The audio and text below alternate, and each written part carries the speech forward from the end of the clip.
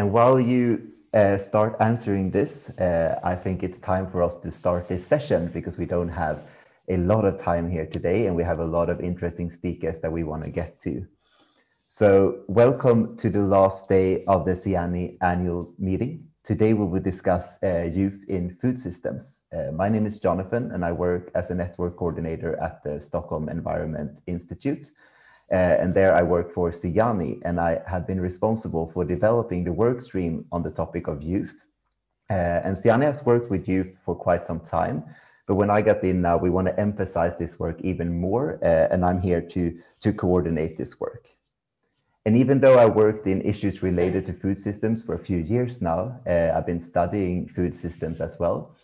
I feel like the more I read, the more there is to learn about it. Uh, it's just growing. There's so many different actors. There's so many different aspects to bring into this. Uh, and today we're going to focus on youth. And because it is such a complex system that we're talking about, I'm extremely happy that we have such a, a great panel with us today. Uh, they will share their experiences and their knowledge about food systems and working in food systems. Uh, but I also want to highlight already here that you in the audience, you're also extremely important for this discussion. You also have your experiences, you have questions to come with, uh, and you might also have ideas for this topic. So please share that in the chat uh, as we go along and we'll try to get to as many of them as we possibly can. Uh, some of you have also emailed your questions in beforehand and I will also try to get to those. But already now, it would be very good if you guys wanted to write in the chat uh, what um, where you're calling in from today, because we want to see the diversity of the SIANI network. Uh, I see someone calling in here from Tanzania already, uh, and it's just great for our speakers to also see this. But with us today, we have Amanda Wood, who is from the Stockholm Resilience Center.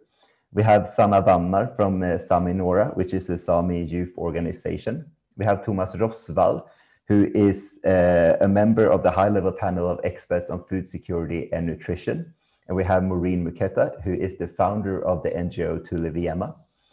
And at the end of this session, we have Katarina Wahlgren, who will give the concluding remarks, and she's from the Swedish Ministry of Enterprise and Innovation. And we will first hear intervention from our speakers, and then before we go into a discussion, we will um, have a short little break of two minutes where you can just stretch your legs. Um, but first, we will hear now from our speakers. But before we get going, I wanted to let you know that we are recording this session. So if you do not want to appear in this recording, you should turn off your camera now. But I think we should stop sharing this Menti now uh, and go to our first speaker, who is Amanda Wood, uh, and she is a researcher at the Stockholm Resilience Center. Uh, Amanda, the screen is yours. So now you should see some slides. Yes. Great. So hello, everyone. I'm Amanda Wood, a researcher at the Stockholm Resilience Center. Thanks so much for having me today. Uh, my work focuses on really trying to bridge science and practice in order to create more sustainable food systems, and I work in the Nordic region. So I've been asked to speak here today, maybe not because of my own stellar record with youth engagement, but hopefully I can share what I have learned and highlight other groups that can give us all some inspiration. However, because I am a researcher, I'm going to start out by giving an evidence-based justification for why involving youth in, in food systems is so important. So we know that it's essential that food systems change. Simply put, if we keep on a business as usual path, in other words, we keep consuming, producing, and wasting food as we do today, then we're looking at a grim future. So here we're seeing the warning signs of a great acceleration in food systems towards a very undesirable future where malnutrition is on the rise, where environmental impacts from agriculture is rising, where resource use needed for agriculture is rising, and where there's increasing negative health impacts. So why does this point to involving youth? Well, there are really many reasons, but I'll just focus on two. So first, young people are feeling these very negative impacts now. So for example, one in five children and adolescents around the world are overweight or obese. And this is largely because of our current food system, the foods we produce, the way it's marketed and priced, uh, the food environments they live in, the pervasiveness of fast food and so on. But also young people are going to continue to feel these negative effects far into the future. So food systems are built on a number of what we call slow variables. And this is just really a fancy way of saying that what we do right now, for better or for worse, might only be felt in years to come. So climate change and soil fertility are classic examples. So these aren't taps that we can just turn on or turn off. It's gonna take decades sometimes to see change. So young people can't just wait to grow up, get our jobs, and then vote current food systems out. Yet their voices are currently often marginalized from decision-making processes that are shaping these food systems, both to, of today and of tomorrow. So I'll touch on one project that I've been involved with and share my insights. This project was called Towards Sustainable Food Systems in the Nordic region.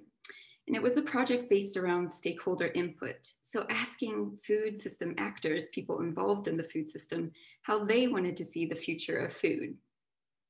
Since we were talking about future food systems, it seemed only fitting that young people would be there.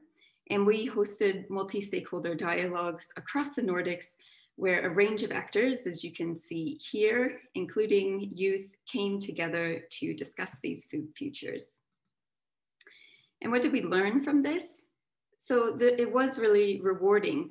The young people who were able to join were very enthusiastic to participate. One reason was because they had a chance to meet new networks and because they had a chance to be part of something they aren't usually invited to. Um, it was also a chance for us to ingest, inject some fresh ideas into the conversation. So for example, we had a young farmer or some working with startups and this really brought new perspectives to the conversations of usual suspects. Um, but there were also some challenges. So practically speaking, the timing of the dialogues just simply did not work for many youth. So they were on the weekdays during a whole day and where you and I can take time out of our work to come to meetings like we are right now.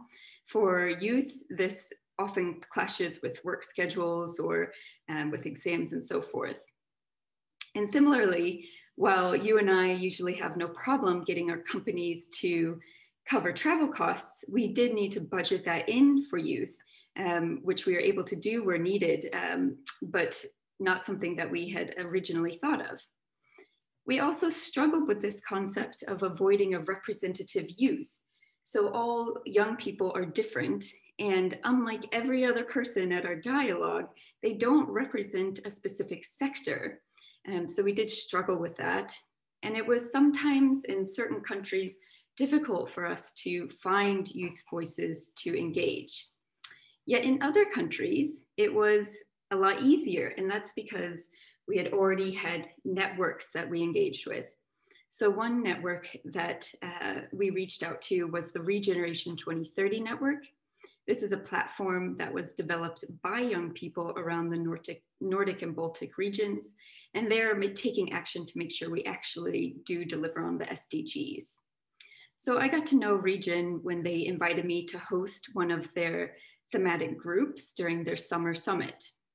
So over several pretty intense days, we discussed the evidence base, I heard their visions for food systems, and it culminated in them deciding to write a position statement of this vision, which then I passed along to the Nordic Council of Ministers.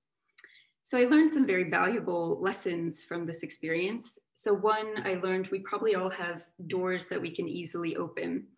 So for example, I work with the Nordic Council of Ministers, and for me, it was really nothing to send this position statement forward.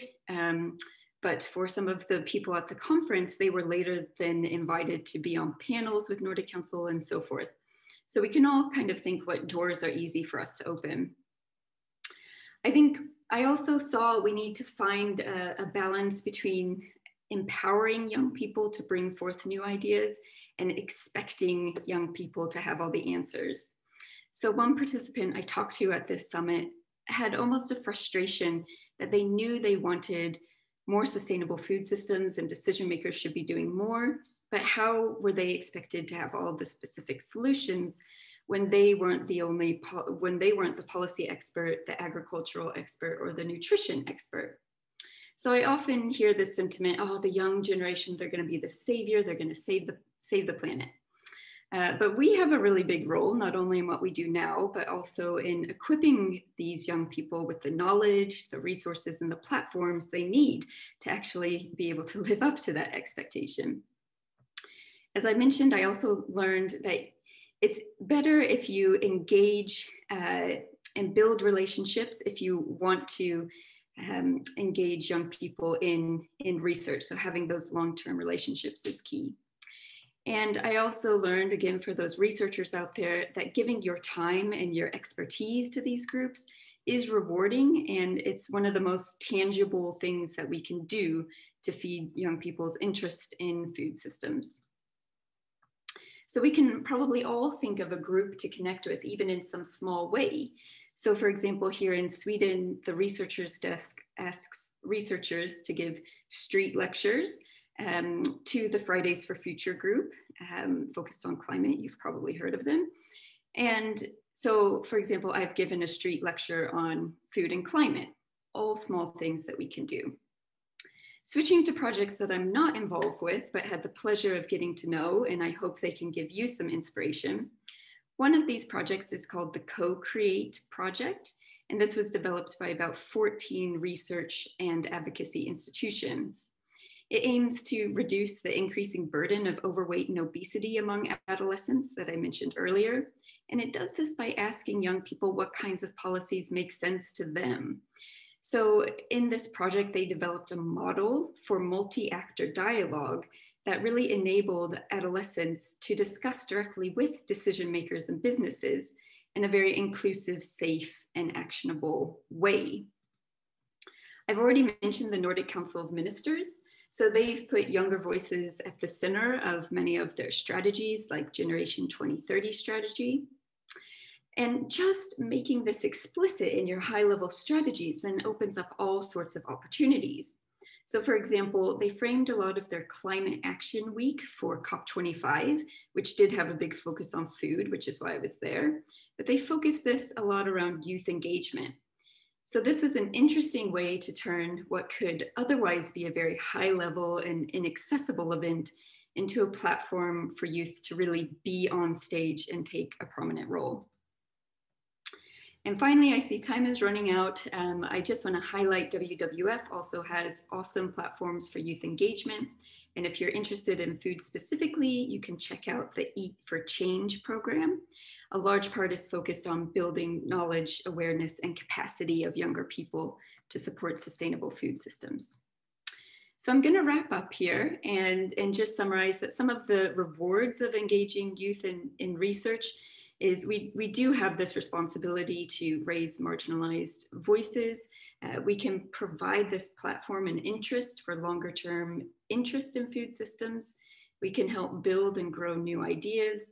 And for anyone who has worked with these um, individuals, you can see easily how you would benefit from their boundless energy and drive.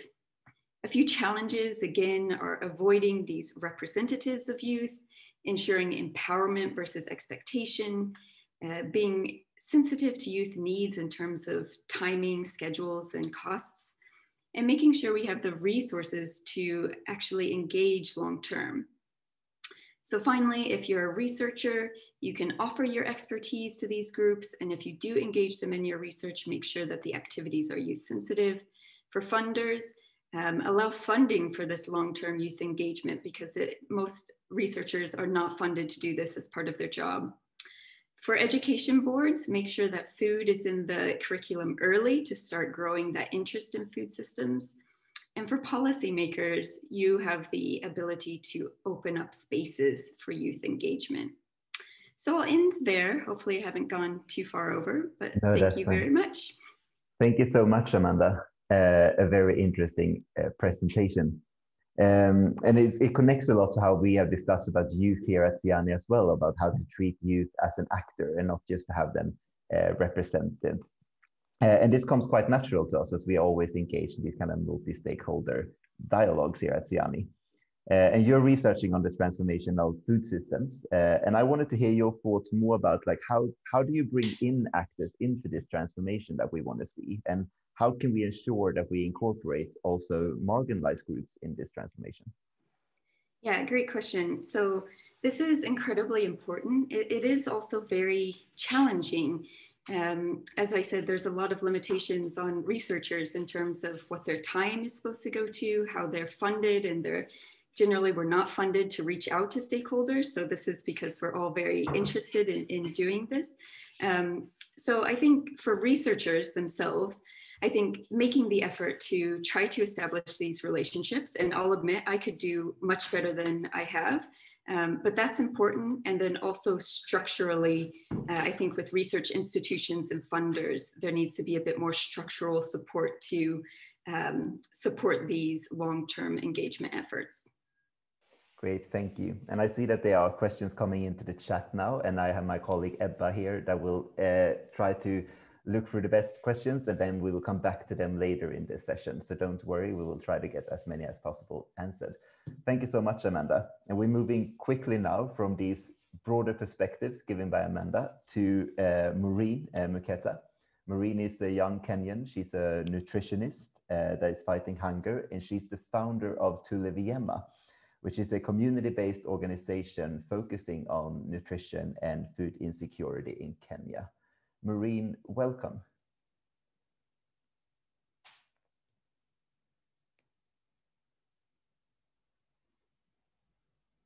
Maureen, I wonder if you are muted because we can't. Okay. There we are. Thank you, Jonathan. Thank you, Jonathan, for your introduction and Amanda for such a pleasant conversation. I kept nodding through your presentation. Uh, yes, I'm happy to take you through my presentation. Um, so next slide. Um, so the question we are asking ourselves is how to engage the youth. And before we um, start discussing on how to engage the youth, I thought it is very important for us to understand what this food systems is, what the talk is all about food systems and why food systems are important. So food systems uh, encompasses a range of actors that are interlinked. That means um, adding activities involved in production, aggregation, processing, distribution, consumption, and disposal of food products that originate not only from agriculture, but forestry, fisheries, and other parts of the broader economic, societal, and environments in which they are embedded. So when we are talking about food systems, we're basically talking about um, how food is grown from the farm until it gets to the plate or the fork. Next. Uh, so the question is, why must youth be involved? And uh, a very interesting fact is that one third of the total population, which is about 2.3 billion people, um, is between, so the age group of those, uh, the, a third of the population is between 15 to 34 years. So these are people who are very energetic and have um, building back a stronger food system, this means we're building back a stronger food system, not only for the current generation, but also for the, the young generation and also those who are to come before us, uh, after us. So it is important for youth to be involved because um, of the life that is ahead of us. Uh, like we have if I am to speak like that, like a longer period of time to integrate to um, integ integrate with the upcoming food system, to the stronger food system. And about 80% of these young people live in developing countries. So um, the other thing is that most of the world's food is produced by the age by aging and small farm small smallholder farmers in developing countries. And the challenge with this is that older farmers are less likely to adopt new technologies that are needed to sustainably increase agricultural productivity and the fast evolving food value chain to ultimately feed the growing world population while protecting its environment. Next slide. So how do we ensure that youth are central in transformation of um, a sustainable food system and a stronger food system now that COVID-19 has clearly shown the gaps that exist. So one of the ways is to equip uh, with, to equip the youth with knowledge on the different value entry on the different value chain entry points that exist. So whenever we are talking about food systems, we are not only talking about the um, production point of view. There's production, there's distribution, there's processing. So the food value chain that exists, we need to equip the youth and make the youth know that um, it's food systems is not only about cultivating or growing the food, but they can align themselves in the different parts that exist in the value chain and also to improve the value chain image. So uh, this, so most of the time you find that agricultural professions are viewed less than, are viewed less and not as exciting and as appealing as corporate professions. So um, this is a significant barrier to getting younger generations to get involved in, in building more inclusive and resilient food systems that needs to be addressed. So with the narrative of agriculture or um, the food value chain being seen as um, dirty job or uh, jobs that are not exciting, um, we need to change the narrative, that narrative. And one of the ways of changing the narrative is talking about the different value chains that exist and also uh, different ways in which youth can get involved. Next slide, please. Um, another way in which we can get youth to be, this, to be at the central of building back a stronger food system is to incorporate nutrition and agriculture in the school curriculum. So um, we usually say, okay, so once we start exposing children at a very young age to what nutrition is all about and what agriculture is all about, um, from primary school all the way to high school and even the tertiary school uh, level of education, they'll be able to start appreciating um, the importance of even the food they consume and how they can be able to appreciate this importance is by including modules of growing as well as marketing and consumption of nutritious foods. So nutrition and agriculture should not be a topic that um, once these children have grown up is when they're starting to hear about nutrition and why it is important to eat well, but it needs to be cultivated in them as they grow uh, from a very young age. They need to know why it is important to eat um, healthy foods and what healthy foods are and um, uh, how to, oh yeah, how to define healthy foods. Uh, and then this could also help young people see nutrition and agriculture as career potentials. So you find because the, the, they'll be introduced to these module, modules very early in life, they'll be able to start, so um, we'll be able to train their minds to see they don't, to be, um, to be successful in life, you don't need to sit in, the, in an office, um, in a well-conditioned office and wait for people to come and see you. You working also in the farm or along the value chain. You can be a distributor. You can be a processor uh, to help um, in making nutritious foods available is also a good enough career. Next slide. The other way is also to ensure that we strengthen higher education in agriculture and nutrition. So relatively few students choose to study agriculture and nutrition. This is because taught materials are not linked to technology and uh, facilitate innovation that have greater relevance to diverse and evolving agricultural and nutrition uh, in the nutrition sector. So agriculture needs to be to have a focus on agribusiness and entrepreneurship. One of the reasons why youth are not involved in um, do not find the food value system value chain appealing is because most agricultural practices uh, and farming, most of farming, most of this farming uh, technology, um, farming activities, food really takes time to grow.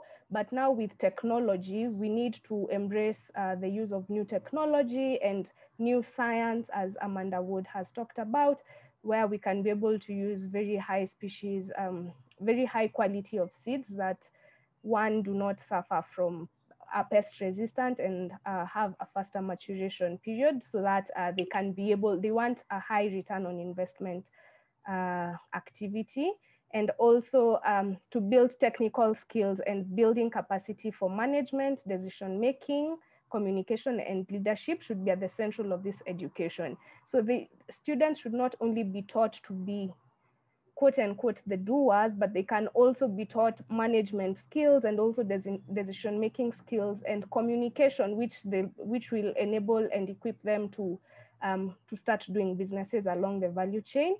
And also, so this how these reforms can be done is by ensuring that young people are directly engaged in the process um, of curriculum review and curriculum build up. Next slide. Uh -huh. So another way we can engage the youth is to seek their participation and welcome them to the, the decision-making table and not only welcoming them, but also listening to them and involving them in designing the pro projects or policies, implementation, and also monitoring and evaluation this by doing this we'll be giving them and you'll be giving us an opportunity to speak and also give ideas of how we think we can be able to build back a stronger food system because uh, we say solutions for us and no solutions for us without us. And the other way is to develop youth specific programs. So youth specific programs means uh, intentionally targeting programs that youth will be included and also um, programs where youth are the target audience of uh, the program that is being implemented. And as Amanda said, not just getting youth representatives, but also youth who are passionate about um, the food system, the food systems, and you could be passionate, but you don't know how to go about it. These people, this kind, this category of youth also need to be involved because with just a little bit of mentorship and a little bit of capacity building, they'll be where they want to be. So what are the challenges youth engaged in food systems experience? One of the challenge we face is exclusion and omission um, on the decision-making table. So you will find uh, most of the time when policies are being implemented, youth are not there, but um, I, I commend the upcoming UN Food System Summit, where in at least every the five the five action tracks, there is a vice chair who is a youth. So giving us an opportunity to sit at the table and also contribute and um, yeah, also contribute and be part of the policy implementation and policy making. And the other challenge that youth face um, the youth face while engaging in the food system is lack of finances, either to start or expand.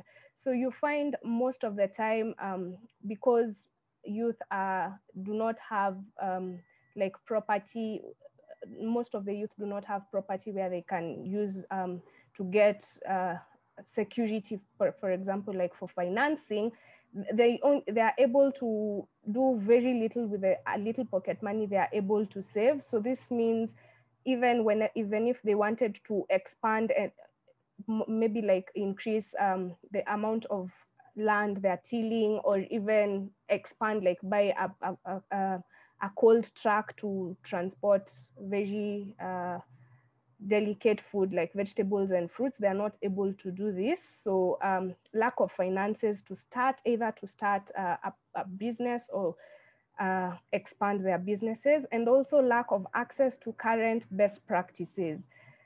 Lack of access to current best practices, um, which could either be in terms of they do not have um, uh, access to either internet where they can be able to engage with other youth from different parts of the country to be able to see the best practices that uh, are currently being uh, practiced or also they totally do not know that this new technology that has come up that um, can be able to uh, help them in whatever programs or activities they are engaged in in the food value system chain and also inadequate mentorship and capacity building. This was really echoed very well by Amanda when she said there are people who want to, they have the will to do, but do not know how to do it. Uh, so with just a little bit of mentorship, um, youth will be there.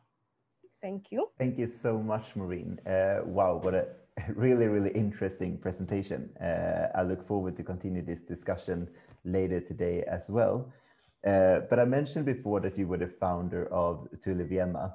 Uh, and I was hoping that you could give us just a, an overview of what you're doing and how are you engaging youth in your work? Uh, thank you, Jonathan. Yes, uh, I'm the founder of Tulevyema. So what we do at Tulevyema is we raise awareness of proper feeding practices um, through holding nutrition health talks and training young women of reproductive age to cultivate vertical gardens, indigenous vegetables on vertical gardens. So how we engage the youth is uh, one, the young women whom we work with, most of them they are still within the youth age bracket. And also the nutrition health talks that we hold, we really call out um, for youth to either participate in arranging of these uh, uh, nutrition health talks. And we also work with youth groups uh, uh in my community. So we reach out to the leaders, the youth group leaders and tell them, so this is a, there's a nutrition health talk that is coming up and we would like you to be part of it, not only in attendance, but also in um, coming up with a program of the nutrition health talk. Thank you. And we I see that there are questions coming into the chat, and as I said before, we will get back to those later. Uh, but now we're moving from one youth to another, and we're going back to Sweden, but we're going to the northern part of the country, to Sapmi, which is the land of the indigenous population Sami.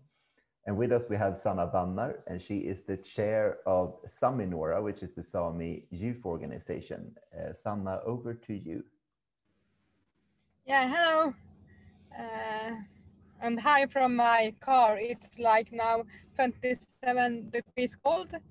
So I'm sitting in the car before I'm going out to the forest to my rangers. So I'm the president of Sáminourra, a Sami youth association in Sweden, but I'm also a ranger herder in Sirges community or Sirges Sameby in Jokkmokk in northern part of Sweden. Uh, today I'm going to talk a little bit about ranger herding, but it's important to know that not all Sami people are ranger herders, but it is a big part of the Sami culture. And like ranger herder, we produce a lot of ranger meat people eat and a lot of food. But for me, it's not have for me it have always been natural to like see the rangers how they live, how they grown up, and what they eat, and then slaughter them. Some people it says they say, "How can you eat your own animals?" But for me, it's better to eat my own animals because then I know what they have done, how they have lived, and what they have eaten. And like we take everything from the ranger, we are not throwing away away anything. The skin and antlers, for example, are we having for duodji, the Sami handicraft. Uh, we eat the meat, the heart, the tongue, the blood, like we are taking everything.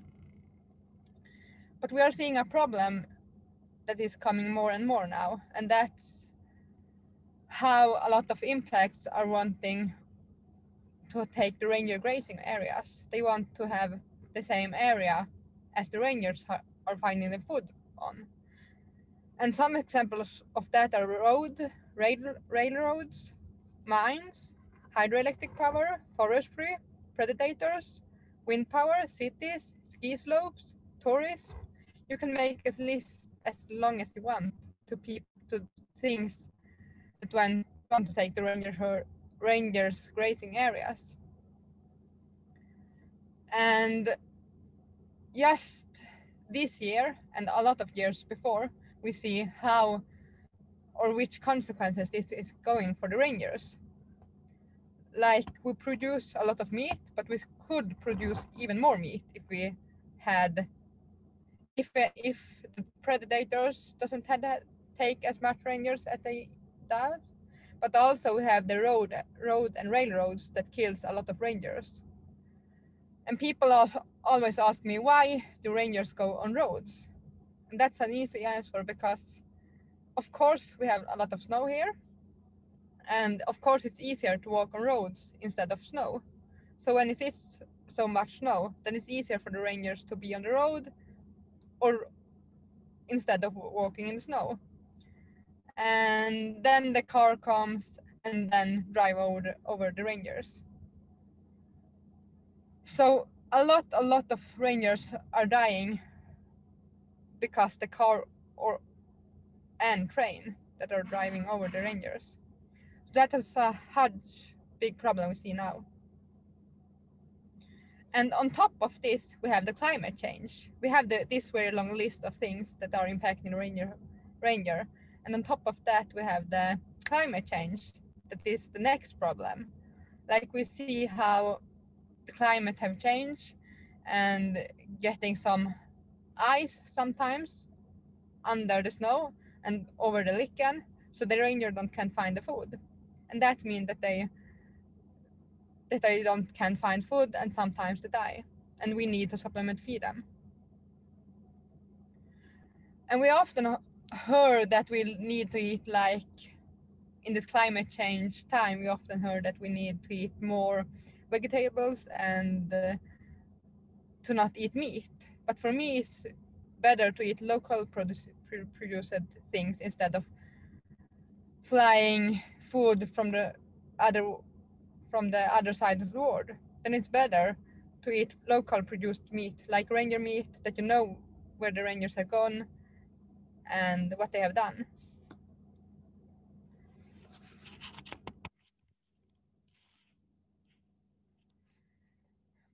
But we also have this climate change and we know that we need to produce more energy and electricity. And we know that we have this kind of impacts on reindeer herding areas that are affecting us but now we they also want to put green energy they call it green energy but for me it's not green because they put them on our lands without asking us if it's okay and it means that our rangers have even more more smaller place to, for them to search food for on so it's a lot of problems that are connected to each other. But the one solution I can see is that companies and also families try to produce their own energy.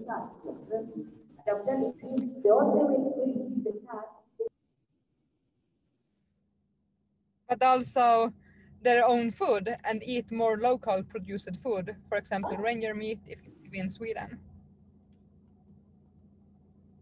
yeah, that was that. Thank you, Sanna. I think you're really touching upon the complexity of the food systems and how so many different aspects are playing in here. We're discussing to eat less meat, maybe we should eat more local. We're talking about how renewable energy actually interrupts the traditional food systems that you have uh, uh, up in Sapmi.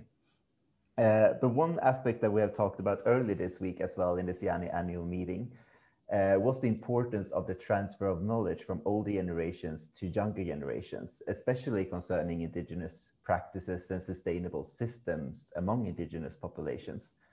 And I wanted to hear your thoughts uh, about this and how important do you think that this knowledge is? And do you see challenges for Sami youth continuing with the traditional practices such as reindeer herding? yeah of course we know like this knowledge and indigenous knowledge and traditional knowledge is so important to handle both the climate change but i see them like connected with the food system. So both to handle the food system and climate change we need this knowledge. And in this time with all the new te- technology we see that it's harder for youth to know the knowledge because indigenous knowledge it's nothing you can read in a book. It's not it's something you need to be outside and with elders and talk to the elders to learn but youths today have their phones looking movies and have the social media so they don't really have the time to sit to talk with the elders and to learn the things that they have to tell you but we also have another problem, and that is that children and youth need to go to school. And of course, it's good to go to school, but you can also learn a lot of things with your elders that you don't can learn from the school. So, and also like today, the science is the highest, but I think we need to value the indigenous knowledge as same high, same high as science because we need both of them to handle the future. So maybe we can, a solution can maybe be to like get youth and children free from school to follow elders, not just that they sit home, home, but they are following their parents, grandparents out to see how they have lived and how they can handle live in the nature. For example, one example is that uh, in my area in Sapmi, we have a lot of names on places. And if you understand the, the names, then you also can understand in this lake, we can find this fish. And that's a really important knowledge. Yeah, thank you so much, Sanna. Uh, I think we have a lot to get back here once we let the audience in with their questions as well. Um, and thank you for calling in uh, from your car. we now have heard from two, two youth representatives and one researcher. And before we take a short leg stretcher and let you guys in to ask your questions, uh, I wanted to introduce you to our last speaker of this session. Uh, his name is Thomas Rosswall. And Thomas, he has a long experience working with issues related to agriculture, nutrition, and food security. And he's now a member of the high level panel of experts on food and nutrition. Uh, Thomas, welcome. The screen is yours. Thank you very much. And I'll share my screen and hope it works.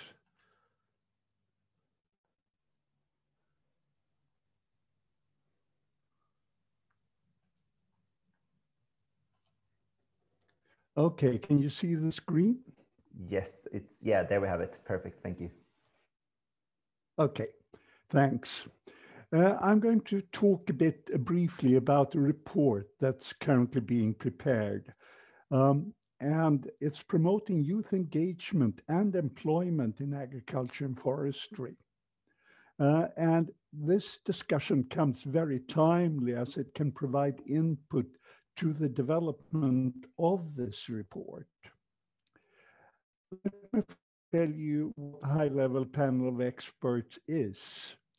It is the science policy interface um, of the UN Committee on World Food Security.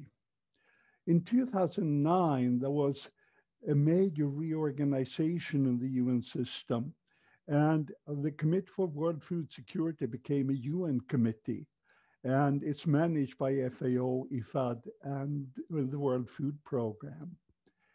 And the high-level panel of experts was appointed to ensure that the policy discussions were based on best available evidence.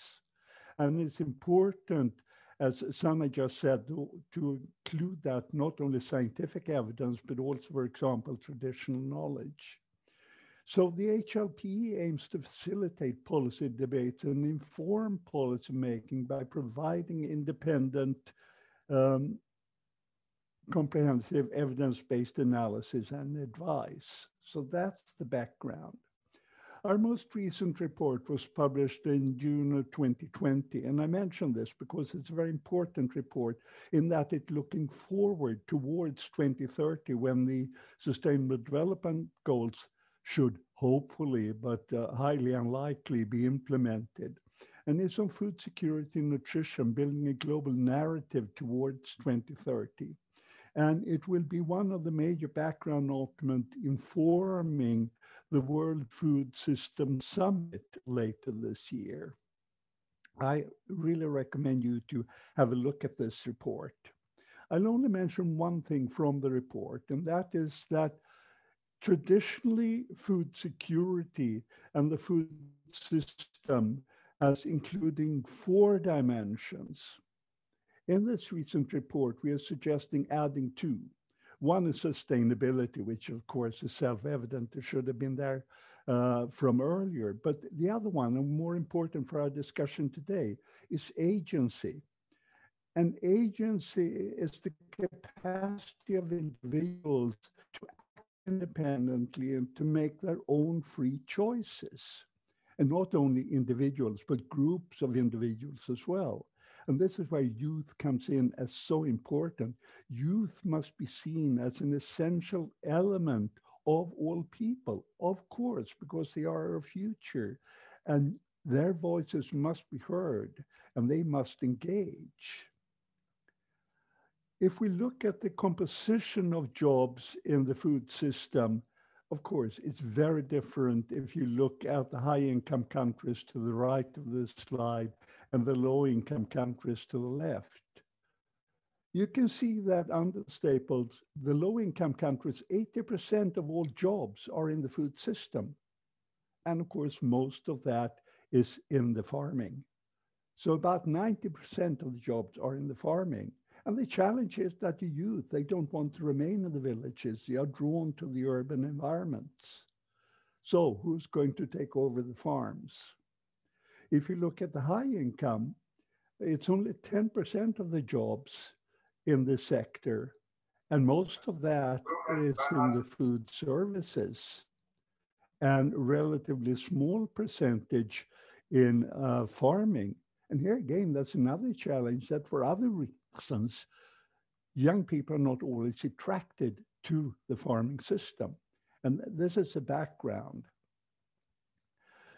So we have had a charge from the World Committee on Food Security to develop a report. And the charge includes to review the opportunities for and constraining factors to youth engagement and employment in agriculture and food systems, and to examine aspects related to employment, salaries, and working conditions to see what constraints there are and what opportunities we can have. What are the rules, regulations, and policy approaches that can address this complex system? And how can we explore the potential of food systems and enhance rural urban linkages to provide more and better jobs for women and youth? This is a complex diagram and I apologize for it, but it really, let me just change. Uh, but it really is only one point I want to point, one thing I want to point out. This is a process of developing HLPE reports. Uh, but I want to point out two things. The first one is that the key players is the CFS that gives a charge to the HLP, and I'm the member of the steering committee, and we manage the process. And then we appoint a project team to write a draft of the report. But there are open consultations, and I hope that many of you saw the open consultations um, second half of last year, where the draft scope is open for discussion and input from everybody over, who has an interest in this issue. We've just had the first version of the report, V0, out for open consultation. And as I understand it, Jan has gotten the permission to submit comments later than the formal deadline because of the discussion today. So what we discuss here will then be fed into the process. Then a second uh, version is produced that will be peer reviewed and ev eventually we approve it. But that's just the first step of the process. Then the report goes to the Committee for Food Security for a political discussion, which also includes civil society in the private sector. Unfortunately, the V0 draft, which is the first page, and it says very specifically, do not cite nor quote. So I can't tell you really what's in it. It's a bit strange because it's been out for open consultation, uh, but I adhere to the rules and my marching orders. I can't tell you what's in this draft, uh, but Young has it and they are going to comment on it. But I want to mention the issues to be considered in this report that we defined in the scope. The first one is, of course, why is there a need to promote youth in agriculture and food systems? And from the previous three presentations, we have very, very good and well articulated arguments for that and self-evident. Uh, second, and more importantly, and we haven't touched much on that, is how can employment in agriculture and food systems become more attractive for youth? I mentioned initially some of the challenges that we see, that agriculture and food systems aren't perceived as attractive by a large majority of youth, and we need to change that. So what actions are required to also equip youth with necessary skills? We've heard that before in the previous presentations.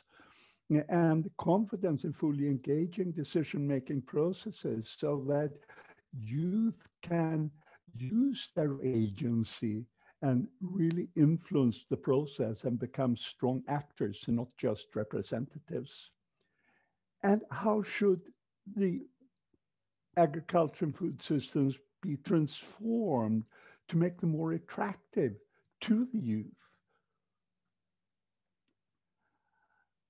What are the best strategy for engaging youth, in particular young women, to be leaders in innovative agriculture? We need to change the systems. We know that in all countries. The challenges of Sweden are very different from Tanzania, but we all need to develop innovative approaches to this.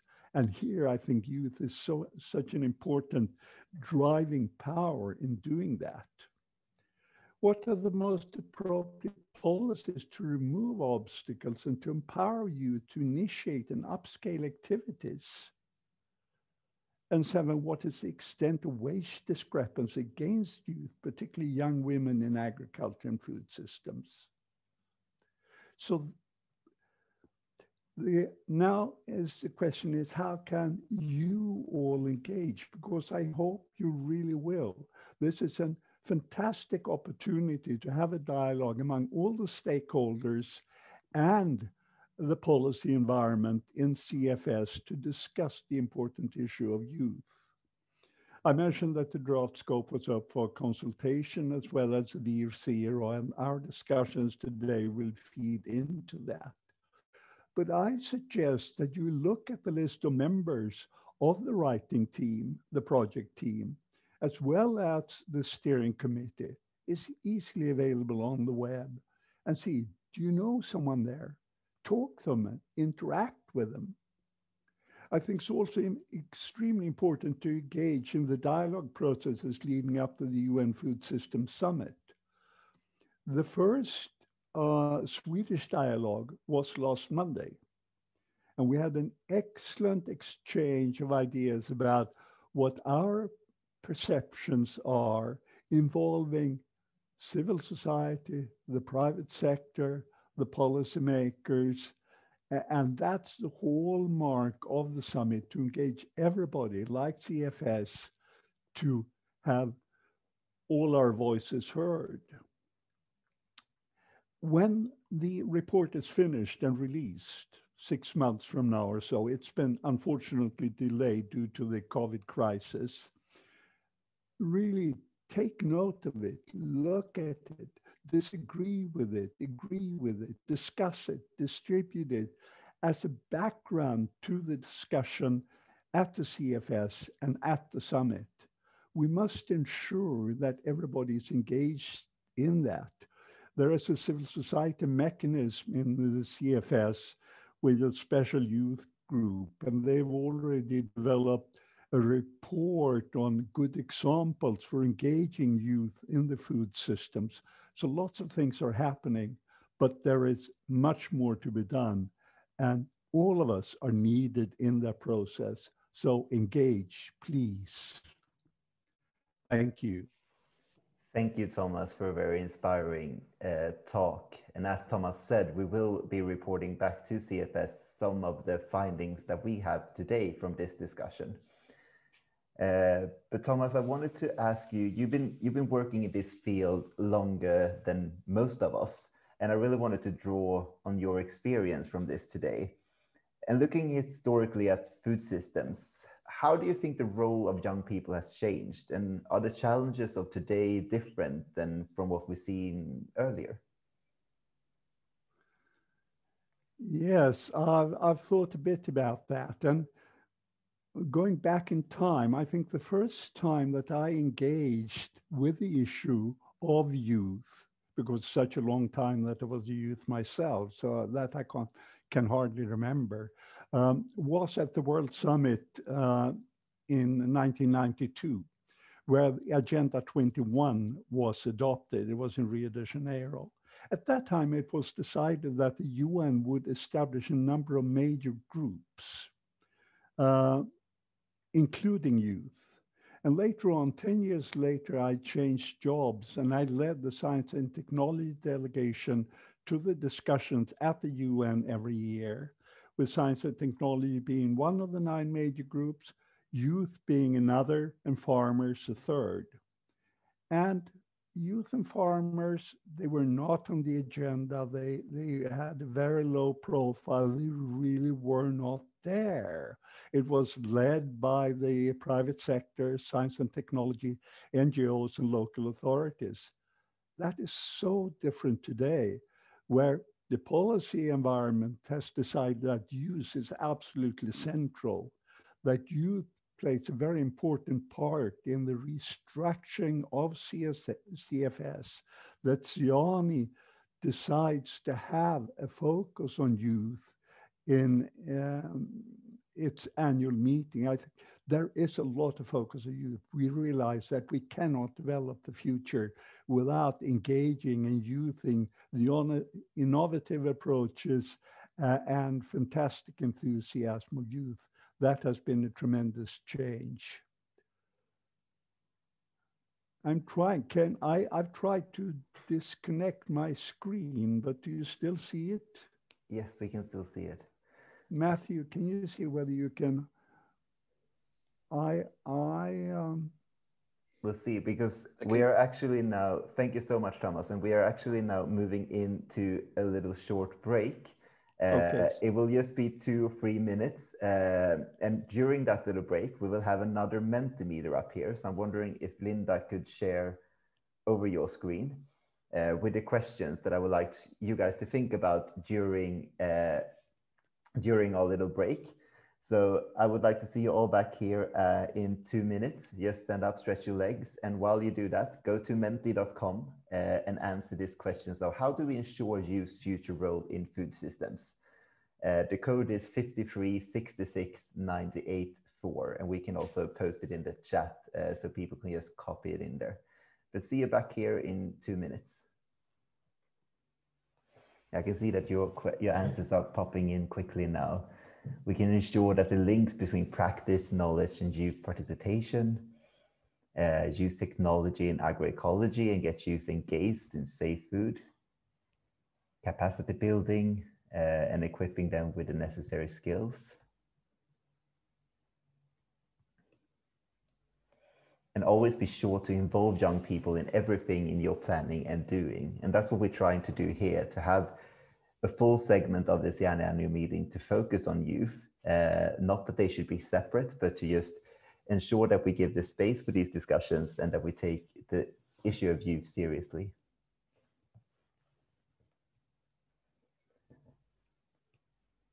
Okay, it's really interesting ideas that were coming in here and all of this will be uh, posted online uh, after this meeting and we will uh, try to use as much of it as possible for our reporting as well uh, back to the CFS report uh, and also from the questions that you sent in now beforehand that we will now go on to discuss with our panel. And I can see that you just continue to send in and that's really great. Thank you so much for all your great ideas that we can see here. But I think it's time for us to start again.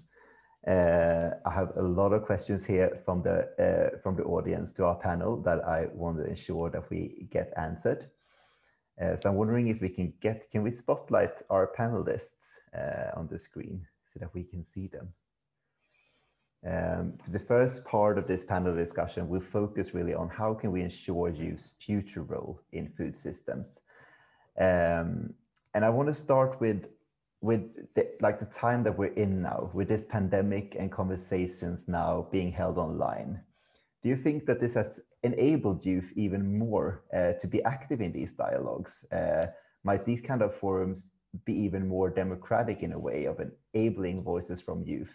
Um, and what issues do you see and what role could SIANI play in this as well? Anyone who wants to give it a, a first shot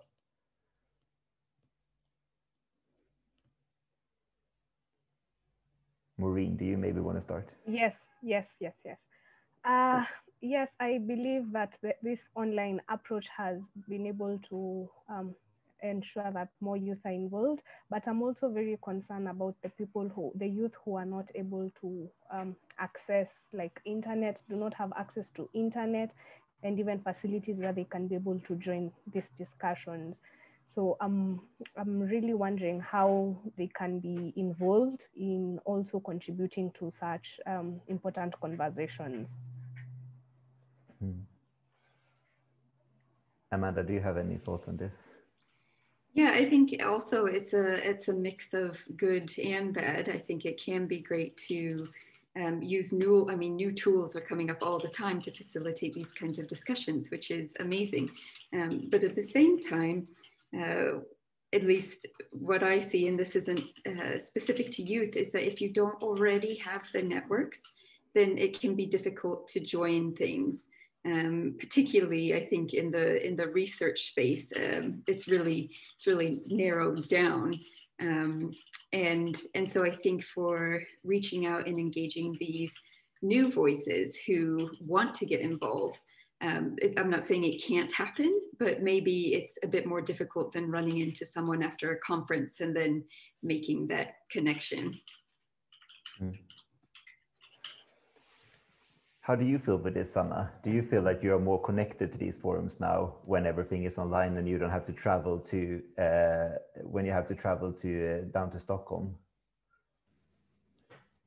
Yeah, like Amanda say, of course it's easier for me to like now I can sit and have join you from the car or from wherever I are, but on the same play on the same it's we have still a problem. We have the new te- technology, but we don't have the access maybe always. We're not invited to the meetings always. But also we know that a lot of youths don't have the good connection, internet connection, so they can't be able to participate, participate in meetings and webinars because they can't use their computer. Yeah, yeah, that's a real a, a, big issue that we have to think about as well. Uh, Thomas, what, what role do you think that Siani can play in this as a multi-sector network? Well, Siani is an exceedingly important platform as it brings the different stakeholders together. And it's exactly those types of platforms that we need. But I also think with involving the youth, it's very important. Someone mentioned the importance of mentors to try to ensure that you have mentors. Royal Swedish Academy of Agriculture and Forestry, for example, has a program to engage youth and develop mentors. And I've seen this in many contexts, and it's very important. Um, and, and, one more comment is, of course, that I think it was Amanda who said that you shouldn't have youth as representatives. Well, if you look at the CFS level, how do I how do you identify youth to engage? How do you find them? Well, they have to be representatives of something because you can't just go out in the world and say who would like to contribute. So, so it's a very difficult process, and you must see it once you are representing a group, a platform, be it Siani or something else, that they then get a voice, of course. Yeah, thank you. And if any of the other panelists want to comment what anyone else says, just wave and I, I will give you the word. But we have a question here uh, from Linda Andersson at Axfoundation, and it's to, to Maureen. Uh, and she said that in most countries, no matter if in Sweden or in Kenya, farms are shifting hands from parents to youth. And in that shift, also the how to trickles down. However, no matter if in Sweden or Kenya, this how to is often built on methods that worked in the past, but not geared for building sustainable food systems for future generations. So, so what is needed to excel competence, courage, and commitment for youth in agriculture to like to challenge the current how to? Sorry, I, I lost you in the middle. I didn't hear well. Uh, so she asks, um, what is needed to excel competence, courage, and commitment for youth in agriculture and challenge the current how to uh, in how we're doing things today? Uh, I think the first thing is for youth to show interest And also, as Thomas and Amanda have said, um, is to try and align themselves and find people whom they can work with. Also, as we work towards uh, ensuring that these um, governments are creating an enabling environment where youth can, if they want to engage in the agriculture, they're able to take part in it through um, maybe access of seeds or farm, um, farm inputs at uh, subsidized rates. Yeah, thank you. And we have uh, another question here uh, from Jeffrey Shuba, and he's wondering how the changes we have discussed this week will be implemented. Uh, we're talking about these transformation of food systems and different kind of future scenarios that we want to see and how we engage youth. But, but how should we get there? Uh, I would like to see if Amanda might want to start with answering this question, and then the rest of you can feed in. Well, no easy answer. I don't have a short, concise answer for this, but I, and the thing is, we don't have a blueprint, so there is really no answer. Um, but we know the general direction of where we need to go. Uh, we know that any solution needs to be context specific. So what works here in Sweden might not work elsewhere. What works in northern Sweden might not work in southern Sweden. It needs to uh, be context specific, and I think it needs to um, involve everyone. So everyone is involved in the food system, meaning we're going to have to change a lot of hearts and minds if we really want to get to this transformational level and I think, um, I mean, we need to enable people to do that. We can't expect them to do this and because of free will and in free time. We need to actually provide those spaces for people to engage. Um, and yeah, so I have one more point, but then it just went out of my mind. But maybe it will, maybe it will come back. But I think we do need this hands-on uh, local approach and and just make sure that we're actually I guess, not just talking about problems or solutions, but we need to get into that middle bit. So if we don't actually talk about barriers, if we don't actually talk about differing values, if we don't actually talk about differing interests and get that out on the table, I fear that there's still going to be this gap between everyone knows problems and everyone has this long list of disconnected solutions. Yeah, does anyone else want to come in here? No. Uh, we have a question here also for Sanna from uh, Gunilla Atrem uh, at SSNC. And she asked, how is the situation for the Samis collaborating with the regional governments in Sweden uh, concerning pastures and reindeer herding? Uh, and I could imagine that land rights must be also a central issue for, for Sami youth. Yeah, of course we have some problems and it's a lot of them. So I can't go into everyone. But for example, we don't have the Sami and reindeer herding. We don't, on paper, we don't own the land, but for us, it's our land. Uh, but Swedish states say it's their land, and we say it's our land. Uh, so we have had some cases in a court case that was in the, to the highest court in Sweden. Uh, one year ago was the Girjas Sameby who sued the Swedish state because they think they have the highest right to like to to like uh, to decide who's gonna hunt and fish on their sameby.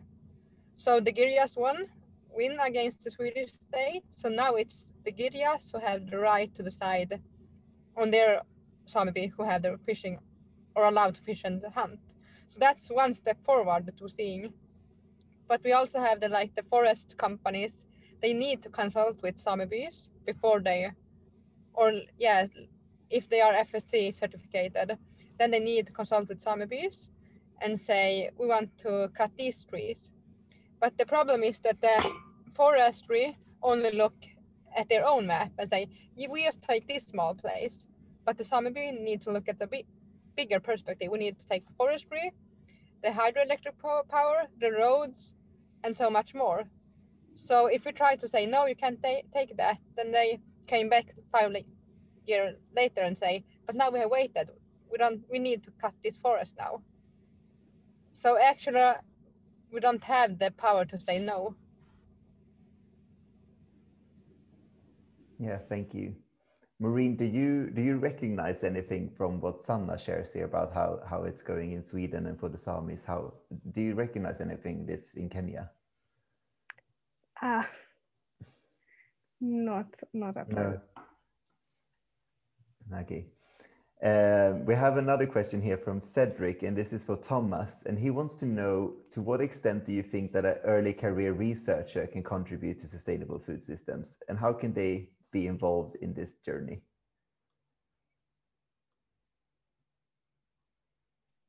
I think early career scientists are, of course, incredibly important.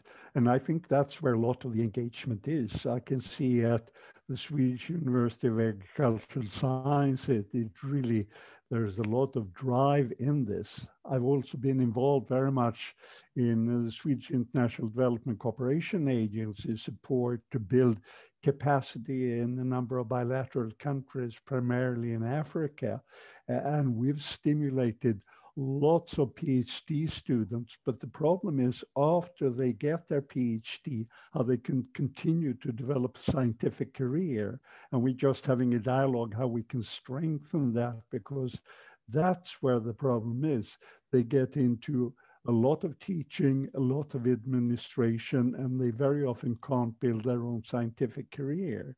So there are a number of ways where we need to address that to really have a young generation of scientists in all countries of the world that can help to provide the scientific understanding to help in political processes to engage with other stakeholders.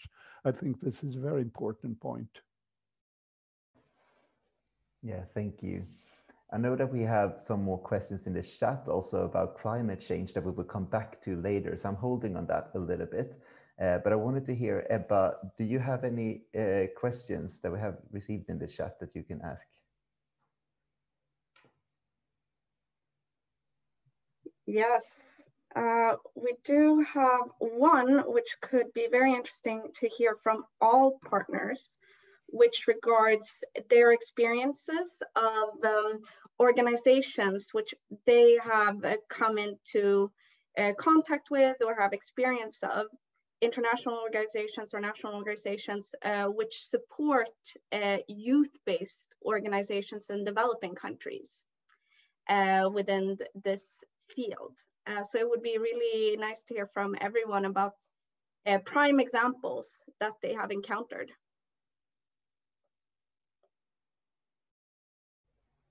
Yeah, do you want to start, Thomas? And then we can take a round. Well, as I mentioned very briefly, the civil society mechanism of the Committee on World Food Security has got an outreach activity. But of course, they depend on funding. And it's very important that governments like the Swedish government realizes the importance of this and that they support this financially because the structures are there. it's the same thing as um, I think it was Amanda who had the list that funding of youth representatives travels is a challenge to engage in it. Yes, we need to work very hard to lift the importance. And that's why I think this HLP report is important because that gives an opportunity to stress the importance of doing exactly that. So we've got the mechanism, but primarily it's funding that's lacking. Maureen, do you want to comment on this? Yes, uh, there's also um, Global Changemakers. It's a youth-led organization that really supports um, youth that want to take part in sustainable development. Uh, maybe you can check them out. Um, it's it's a really inspiring organization that has um, has really been instrumental in helping me and other fellow change makers. Yeah, Sanna and Amanda, do, does any one of you want to comment on this question? Yeah, I can just give a small comment. Um, of course, like we have a lot of organizations that want to help youth. Uh, I can't uh, really list them now because I don't remember all of them. But something, something I think, like the Arctic Council, have helped us a lot of, but also like the Sami Council that we have. Yeah, thank you. Amanda, do you want to get in here as well? Uh, most of my work is in the Nordics, um, and and so I did provide some example. Um, some like WWF are, are, working more broadly, obviously, than the Nordics. Um, the co-create is working more broadly, but I'm not sure I have some good examples for the regions that we we're discussing right now. So I wanted to to talk a little bit about that. We we sit here and discuss to include youth. Uh, but how can we formulate what youth can bring to the table? And we also have a question from Joy that connects to this. And she wonders if, is there any data that shows that youth aren't engaged or that they don't have access today? Uh, is there anyone who wants to problematize this a bit?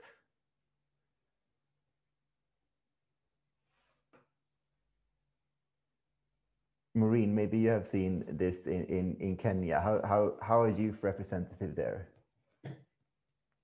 Uh, so currently, youth representation um, it's it's it's an area that is growing but not yet there. Uh, from what I'm getting, is Joy wants to get um, data on data that is showing that youth are not represented. Sorry. Joy wants to get data that shows youth are not represented. Exactly. So, so she asked, do we just assume that they don't have access and are not engaged in food systems, or do do are do they have better access than what we think? Uh, no, youth are not. They're not fully engaged, and why I say they're not fully engaged, we find that also um, there's a lot of rural-urban migration that is happening and if youth were totally engaged in the food system value chain, they would not be migrating because, you know, why they're migrating is because they're going to look for better opportunities. So if they had opportunities that would help them thrive in the rural area, um, they would not be migrating. But they're migrating because there are no opportunities or there's no an enabling environment. I don't know if that answers Joy. I think I think it was really good answer. And I think Thomas want to come in here now as well. No, I, I agree very much with what Maureen said, and I showed this diagram that showed that 80% of the workforce uh, in the low-income countries are in farming. But it's exactly what Maureen says. How can we make that attractive? How can we develop farming systems that are innovative and attracts them to engage? Because this is the major challenge. It's not, I think, engaging in the food systems as much as ensuring that they take over the farms from their parents with innovative approaches. And I worked in Sri Lanka many, many years ago and was exactly a few young farmers that led the way for the development of all traditional Purana village systems. And it was very impressive. So that's where the future lies, and we must be able to make it more attractive. Could we try to could we try to identify some key factors of how to do that? What what are the key factors for for making work in food systems and agriculture more attractive?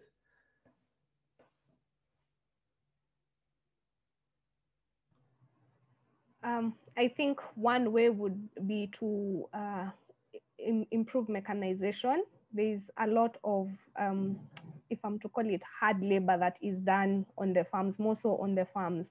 And also uh, to like in distribution, uh, more so of vegetables and fruits, um, inventions and more use of like cold cold trucks that can be able to facilitate the movement. So uptake of new technology that um, youth, uptake of new technology and mechanization that youth can, um, that can attract the youth more.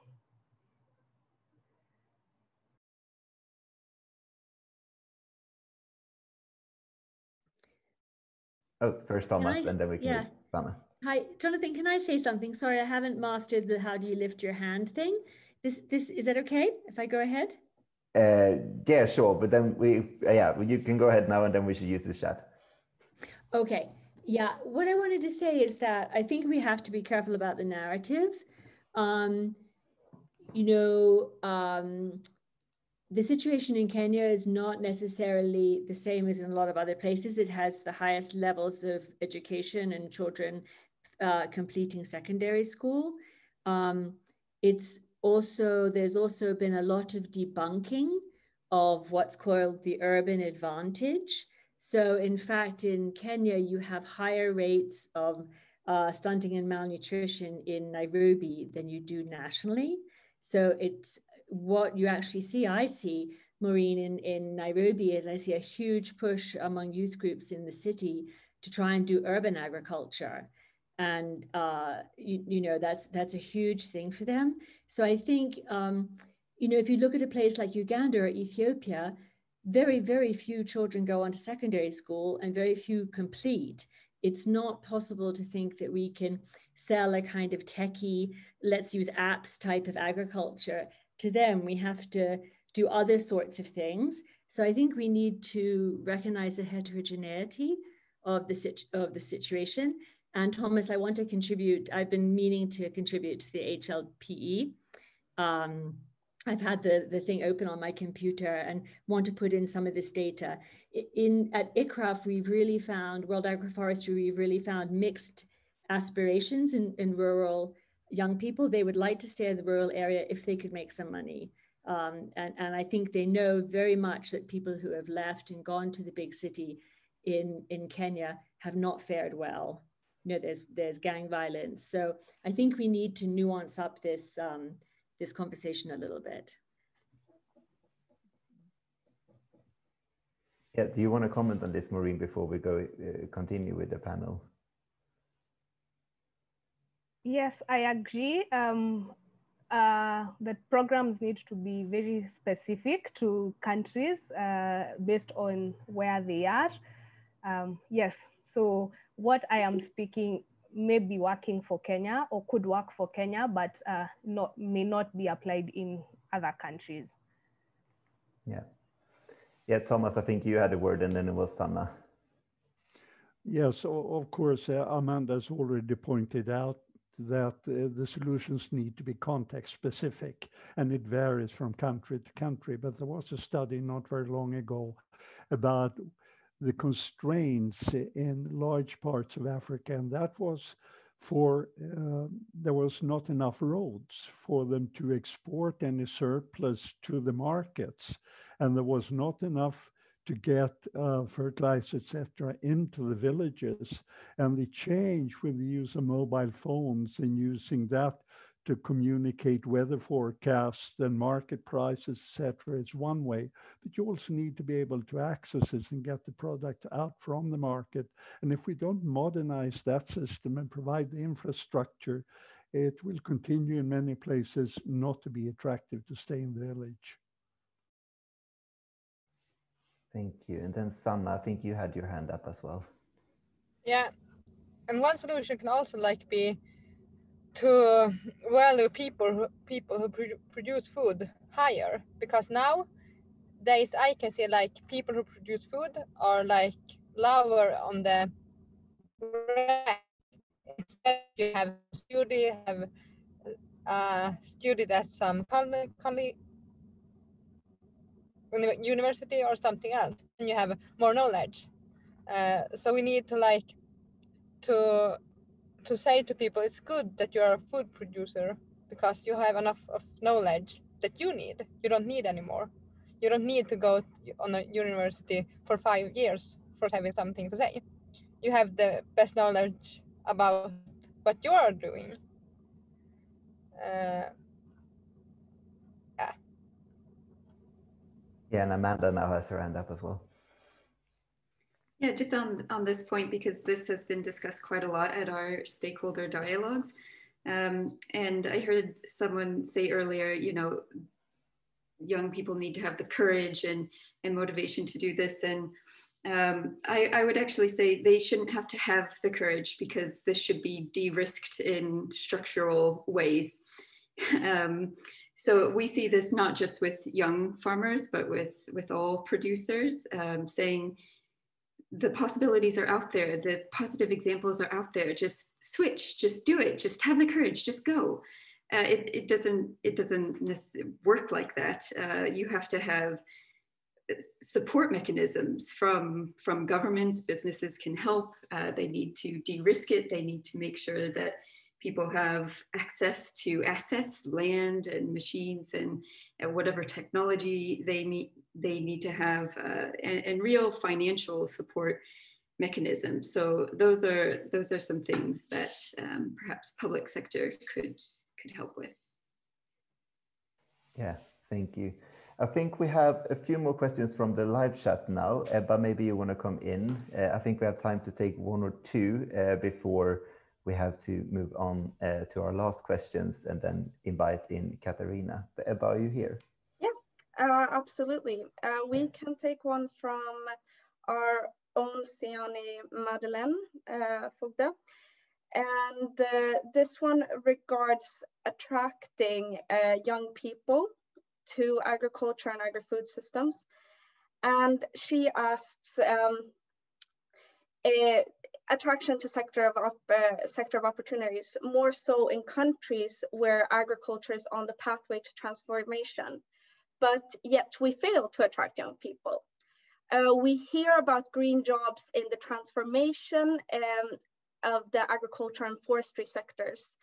Uh, but yes how do we include um, young people and attract them? And uh, we've touched upon these topics, I think it would also be nice to hear a, a kind of nuance here surrounding how we also attract persons beyond the school age. Because Maureen, for example, you talked uh, about how education is vital, but how do we encourage people who may have gone off from school or who are now in university or you know have left for other types of jobs Yeah, Maureen, do you want to, to answer this question? Yes, uh, so one way would also be to like right now the UN Food System Summit is up it's upcoming later in the year and um, the there's a web there's a part where you can want you can sign up to get engaged to get engaged in the UN Food System Summit uh, in terms of either holding a dialogue also or also becoming a food system champion and a hero. Uh, so the, as I said before, there are various ways in which um, uh, you can get engaged. One, it could also be something as simple as also sharing knowledge, what you have, and also committing or um, or in, committing to uh, something like um, you will make better food choices, or you will uh, support your your your you will buy um, food from maybe a young farmer whom you know is uh, is is practicing agriculture, for example. So right, uh, so my call to action is right now uh, for the UN Food System Summit. Uh, I am I invite everyone to go uh, and um, sign up in the Engage tab and see any small way in which you can get part involved in the food system. Great suggestion. Thank you. Uh, and I see that we are sure, uh, sure uh, I can't speak anymore. I see that we uh, are slowly running out of time here. Uh, and I have one more question. Uh, and then after that question, I will do a round with the panel where I will ask all of you to, to ask yourself the question that I have missed asking you today. Uh, but before we do that round, I wanted to talk about a thing that I don't think we have touched upon uh, enough today, and that is climate change, which is sort of a little bit of the elephant in the room here. Uh, and we have seen youth taking the streets all over the world demanding action on climate change. Uh, Amanda, you spoke a little bit about this also in your intervention. And I wanted to hear about your thoughts on climate change in food systems and what uh, what challenges this pose to youth in food systems. Uh, and maybe Sanna, uh, you would like to start on this because I know that uh, the reindeer herding is directly affected by this. Yeah, I can start to try to explain a little bit. It's a long, really, it's going to take the whole time if I explain everything. But climate change is nothing that we're going to have in the future. Climate change we have already now up here. We see how rangers are going through ices because the lakes that they usually move on, they have no ice because the temper the temperature is so warming more and more. So instead of like going on ice, they go on water and ice broke. So now they die because of that. But also we can see that uh, the weather aren't that usually would be. Uh, today I have cold, but some days ago we have really warm. Uh, and these temperature changes for the reindeers make that it can't find food or it's if it's too much snow, it's hard for them also to find, find the lichen that they eat on the ground. Uh, but it's not only like affecting reindeers, you can see how it's affecting the whole Sami culture. For example, we have over 100 years for describing the snow in Sami language. But when we don't have the snow conditions, so these words we're gonna lose because we're gonna not gonna have that snow anymore. That was just a little short. Yeah, thank you. Do you do you guys think that we will see people taking to the streets as a done with climate change, but for food systems in the future? Is this the new movement that we might see? Sanna is is nodding.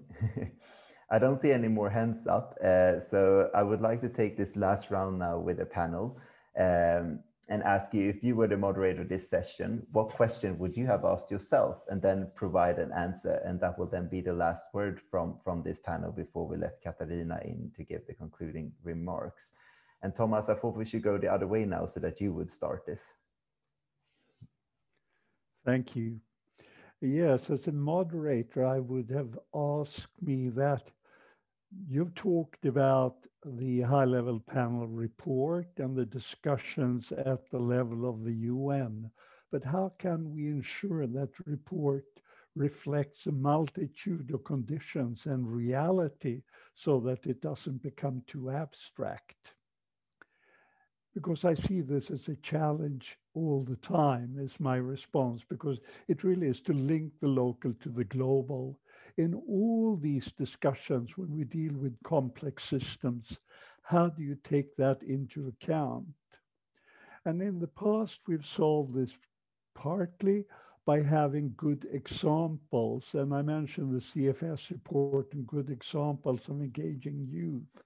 And I think we can hope to reflect that in reports so that we can stimulate each other because there is not one solution. Uh, and we also, as several have said, uh, Maureen talked about it now most recently, and that's to use the existing and developing platforms for dialogue.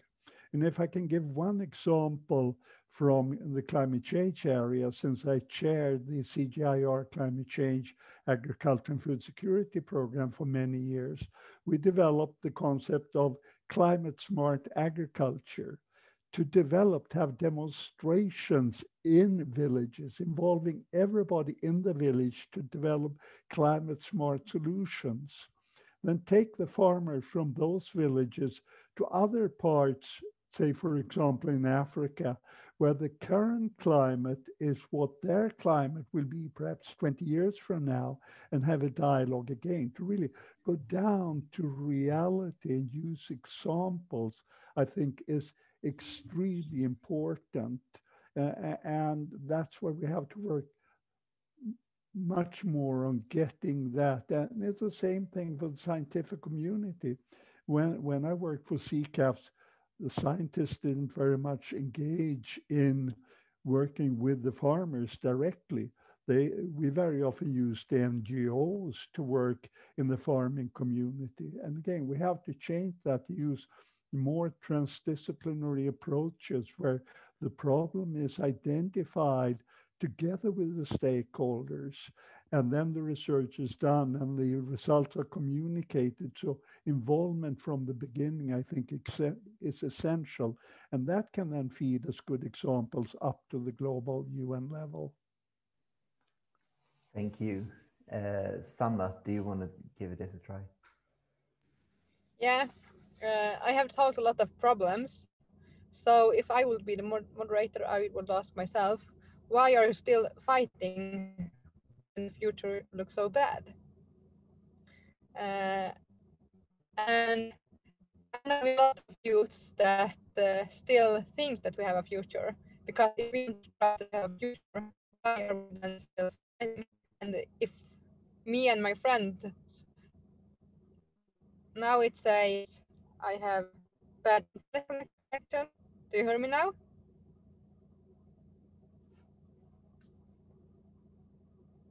Jonathan, I can't hear you. If oh, sorry. Uh, I think the connection is a bit bad. So maybe we try to go to Marina, and then come back to you right after because it was breaking up a little bit. Uh, sorry about that. It, it might help. So Maureen, if you go first and then we go back to Sanna.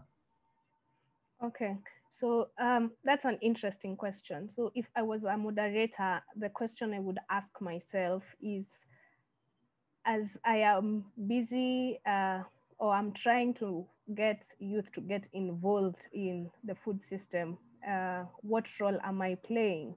And how I would answer myself is I have I have taken it upon myself to raise awareness of what um, the food system is and what nutrition is all about, because I believe each one of us has a role to play. Um, there are no small contributions or small um, um, ideas or solutions that we can give. And um, finally is to remind myself and everyone that uh, we require nutrients every day. And the moment it is now time for us to build back and to build back a stronger food system and ensure that um, whatever we eat and how, whatever we use to nourish our body is not only beneficial to ourselves, but also uh, uh, um, friendly to our planet and we are taking care of our planet. Thank you. We'll try to go back to Sanna and see if the connection is better now. Yeah, do you hear me now? Yes, now we hear you. Yeah, I have talked a lot of problem about problems. Uh, so I would ask myself, uh, why are you still fighting when the future looks so bad? And I think the easy answer is because we are a lot of youths that still think that we have a future. That's why we are en- engaging or engaging us in different things because we still see that we have a future. If I don't trust that I have a future, then I just can give up now. But it's so much more than just a work that I'm doing. Like my and my friends that also are reindeer herders see so much more it's the love for the reindeer, the culture, the nature. It's hard to explain why we still want to live this life that we are living. But I see also to be a little bit to end this with not no problems. I see that there are many youths that want to do change, and I see that like youths are making changes now and trying to get to their voice. So, we make right decisions and we don't have the time to wait. Thank you, Sanna. Uh, and over to you, Amanda. Thanks. Um, so I had a question prepared, but then I was searching through the chat and saw someone um, posted a really interesting question. So I'm going to uh, hopefully answer that one and, and um, get two with one here. So they were asking in terms of do I think it's more of a bottom up movement, like a youth movement, or a top down, more governmental approach that's going to fix food systems? Um, and I think that the, the answer is, of course, going to be it's going to be a mix of both. So policymakers need to be pressured by these movements and know that demand is shifting and um, that people are demanding change. Uh, but they unfortunately for better for worse right now they hold a lot of um, they hold a lot of power and you could include businesses in this as well business government top down changes. They hold a lot of power in the current structure um, and, and they need to take responsibility. I mean with power comes responsibility. We hear this all the time. And uh, and actually structurally change the system to enable that the, these changes that uh, so many different movements are wanting. So probably maybe an unsatisfying answer, but it will need to be a mix of top down, bottom up, and everything else coming in at the middle. I think that was a, a, good ending note for this discussion. Thank you so much to all of you. I think it's been really interesting. I, I would have wished that we had way more time, but I think that's always uh, the case. But thank you so much for participating. Uh, and I know a lot of people in the chat have asked for your contact information, etc. So if you are happy to engage, please just post in the chat so people can get in contact with you after this seminar as well. And now we have one more person with us that has a great insight into the preparation for the Food System Summit on a governmental level, and that is Katarina Wahlgren from the Swedish Ministry of Enterprise and Innovation. And she will now give an intervention looking at the year ahead and present some of Sweden's priorities. Uh, Katarina, welcome. Thank you. Thank you for inviting me. Do you have my pictures Yes, I think Matthew will Good. put up your presentation. Yes. I have the first picture, please. Yes, it's coming. There you have it. Thank you. Yeah. My name is, like you see, Katarina Wahlgren, and I work at the Ministry for Enterprise and Innovation in the Animal and Food Division. And mainly I work with nutrition and sustainable food consumption and with the preparations for Food Systems Summit. Unfortunately, I have not had the opportunity to listen to all the previous speakers all the time, so I'm sorry for that. Uh, I know you have had very interesting discussions, as I can understand. I listened the last minutes. I, I will try now to make an update of the government's work before the Food Systems Summit. Picture two, please. Next picture.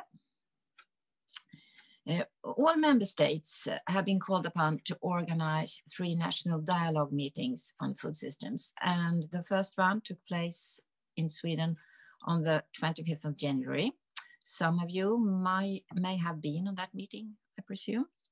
Uh, the day started with a seminar organized by the government offices, the Royal Swedish Academy of Forestry and Agriculture and SIANI, where the Swedish FAO committee's latest publication, Sustainable Food Systems, Knowledge, Innovation and Cooperation was launched. And it will soon be published in English. So please try to get hold of that one. It's very interesting.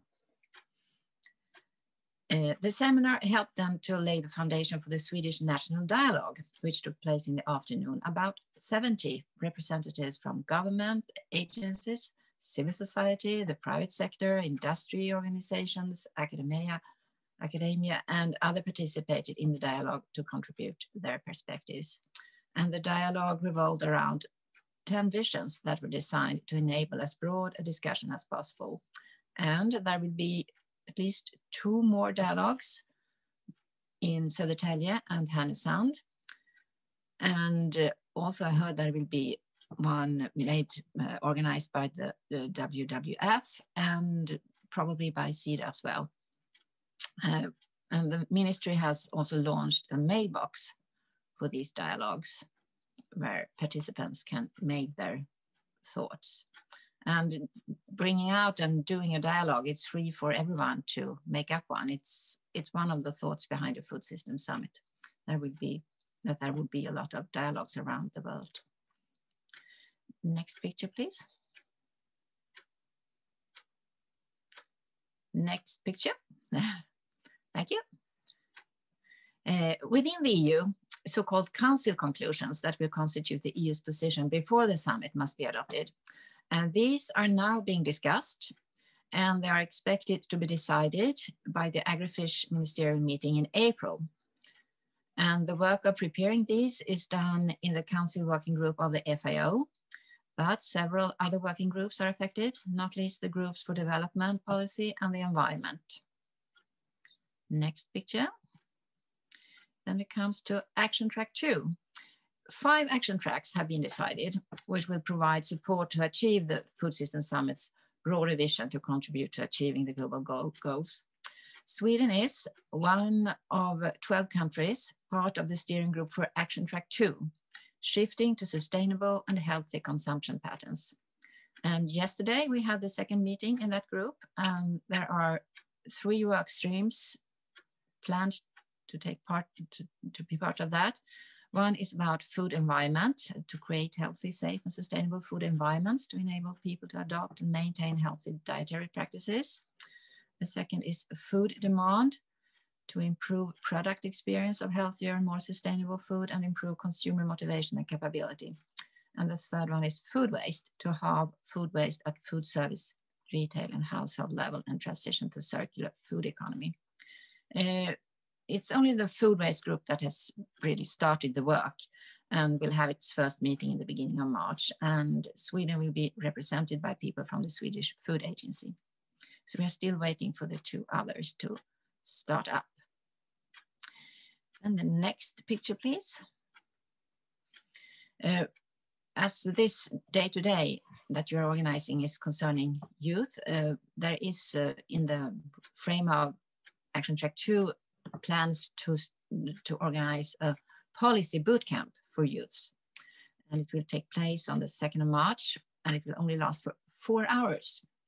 And this idea of a policy bootcamp, it's a model that seeks to introduce systems thinking into participatory policy consultation process.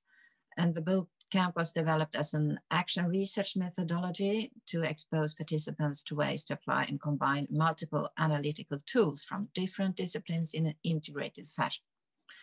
And this bootcamp that Sweden has now the opportunity to participate in is organized by Cambridge University in collaboration with EAT in early March. And it will be, of course, a digital meeting. And the plan is it will be for about 50 children and young people in the age between 13 and 25 years, 25, 25 of them from Sweden and 25 from a country in global south. Not yet decided which country though. This will be a kind we would say, a, a creative way of discussing a challenge they will have group discussions and they will try to submit proposals and ideas for solutions on the challenge. And uh, during the discussions, there will be 10 experts from different areas and they will present, they will be present there to inspire the youths and to answer questions, of course.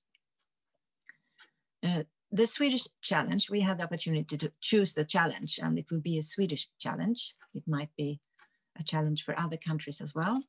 It's uh, food environments. How can you get consumers to change their choices to become healthier and more sustainable?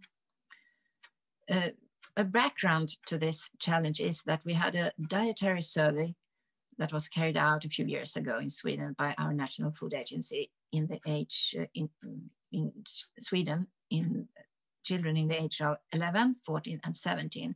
And this survey shows that the consumption of fruits and vegetables has become better during the last years, but still it is too low.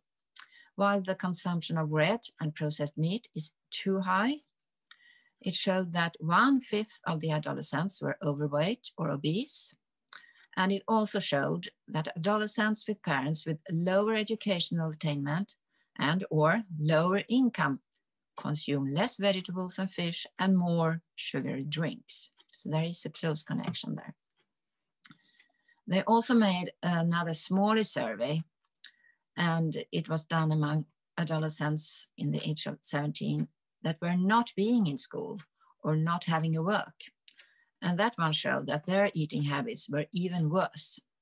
Unfortunately, this group was statistically too small, but still my own conclusion is that school meals are very important when it comes to healthy eating habits in general, school meals are pretty good in Sweden, but schools can probably do much more to reach more sustainable eating habits. And therefore, one have to look at the food, the whole food environment.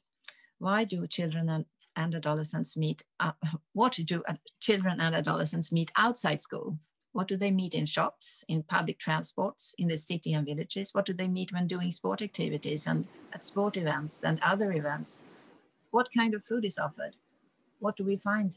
Where do we find the fast food? And what is the supply in the fast food restaurants? There is so much to look upon, and we have to look at the whole food environment. This challenge, seeking solutions, there must be a guiding principle that no one should be left behind. The challenge in this bootcamp should focus on the most vulnerable groups in society and on the most unsustainable consumers. And like I said, the focus should be on how we design society and food environments so that it is easy to choose the right food and consume just the right amount. Today, not everyone has the opportunity to make conscious choices. Even if it is possible, even if this possibility exists, it is not certain that the knowledge influences the decision sufficiently. Information is just a piece of the puzzle in the whole. And hopefully, the results of this boot camp. It's only four hours, but hopefully it will be very creative, We contribute to the work within Action Track 2 and to the work in this field in Sweden for the government's work. And I can mention that other countries have already showed interest in doing a similar thing like the boot camp in their, in their countries. Then we can go to the next picture.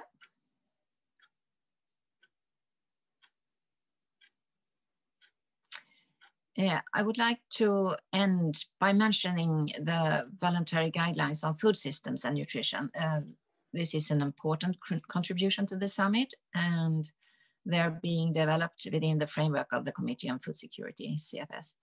Uh, these negotiations with the guidelines have been difficult and extensive, among other things. The countries have had different views on the issue of antibiotics resistance, for instance, how to express oneself about sustainability and what nutritious diet is. I haven't been involved myself in this in these negotiations. It's a colleague of mine. And this week, the last round of negotiations has taken place, and the hope is that the process has been completed. If all goes well, these guidelines will be adopted by the Committee on Food Security at its meeting on the 8th and 12th February. So finally, I'd just like to say that CFS is also adopting a so-called terms of reference for voluntary guidelines for gender equality in food security. And that product will arrive during the year and be negotiated in 2022. This work will be led by Finland. And it is a priority for Sweden and we have also made a financial contribution to carry out that work. Thank you. Thank you, Katarina, uh, for this presentation and really interesting with this uh, policy bootcamp. I just wanted to ask you, um, we have discussed here about youth engagement uh, in uh, ahead of the Food System Summit and ahead of CFS today. And how do you think that Sweden as an actor can, can ensure that youth are heard uh, at these two forums? Uh, I think, uh, first of all, we have, we have this booth camp, but it's only for 25 youths. On the other hand, it will be a broad, uh, I think, um, marketing for the event in social media.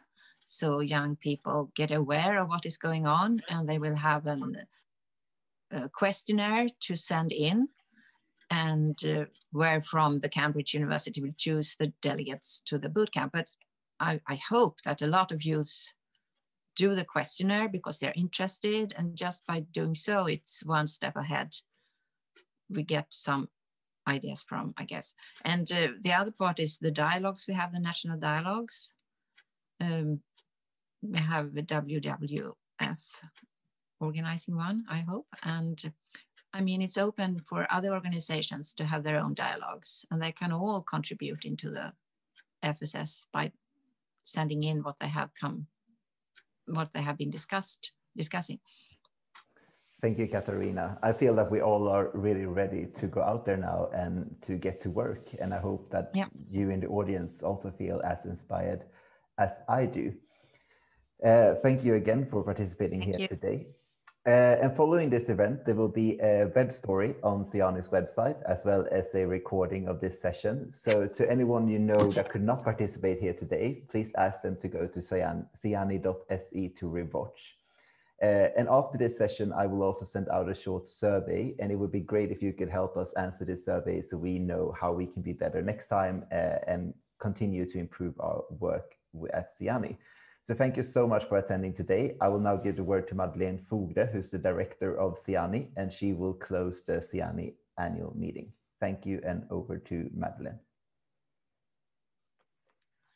Yes, thank you so much, uh, Jonathan, and all the speakers for this uh, last session in the SIANI annual meeting, which we have organized for the first time virtually with a great success, I would say. We have had almost 900 signing up, but maybe about a half uh, or 400 uh, participating in our dialogues, coming in and out. So we, we count that as a big success. And we, I think you will see more of our members and followers meeting online in the future. So thank you all for uh, confirming that this was a good go. Um, we started out the, our meeting with looking at the food system and listening to voices that we really need to listen to if we are going to talk about the transformation so that we ensure that we actually don't do not leave anyone behind. And uh, yesterday we had a very interesting session about communication, and there we also got really good insights and uh, understood that words really counts. We have to be very careful when we choose words. We have to, we should transmit evidence-based information and make it comprehensive for the one we want to reach. And also, of course, we should always be careful sh sharing pictures of this is an issue of rights. Now, um, today we have had a very interesting conversation about how we can integrate youth, how we give them space, how we ensure empowerment. And uh, there has been said that it's very important with long-term engagement. And uh, SIANI, as also as a young actor and player, has now been going on since 2009, and we hope to continue with you to be an active uh, uh, platform for this long-term engagement. We don't know. Uh, however, we would like to to thank people like Thomas Rosswall, who has been with us from the start and uh, supported us and helped us to grow. And that shows how important it is to have very good and competent mentors so that we can actually give, take space and be an active partner. Uh, yes, and um, so this year we, as a network, will continue to engage and uh, in share information about food system. We will have a special space on our website where you can get information about recent research on food system, good practices, and also information on what's happening in the preparation of the Food System Summit. We continue to work with youth and how we engage them uh, uh, so that they can take place and so that, that they can be listened to. And um, we all encourage you, members and followers, to take part of all the hearings that are planned and taking place up to the Food System Summit. If you're young or old, you need to be engaged. And your experience count. We heard that local experience le lead to global change. So your case, your research, your story are important in this process. And for you young, be sure of that your future is super important because it's all our future and for future comment. So we are in this together and we should be up to the summit and beyond, of course. Yeah, uh, to get, the, if we get the food system right, we can get so many other things right. So many other SDGs we can um, manage to achieve when we get it right. And not least, of course, the SDG number two, which is zero hunger. And uh, so I really hope for engagement and joining us in this uh, venture. Um, engage with us online, uh, engaging us in physical dialogues and meetings, read us, read our publication, follow social media, participate in surveys coming out from us. We are being evaluated, so we want to know what you think about us and how you experience engaging with us. And thank you then, uh, all the speakers, all through these three very exciting meetings that composed the SIANI meeting during half a week. Uh, and uh, thank you all members and followers from near and far being loyal to us and newcomers for joining and for sharing and being very active. We have saved all the chats. We have saved all the information on Mentimeter. We worked on this and you will see reports coming out on what happened this week on our website.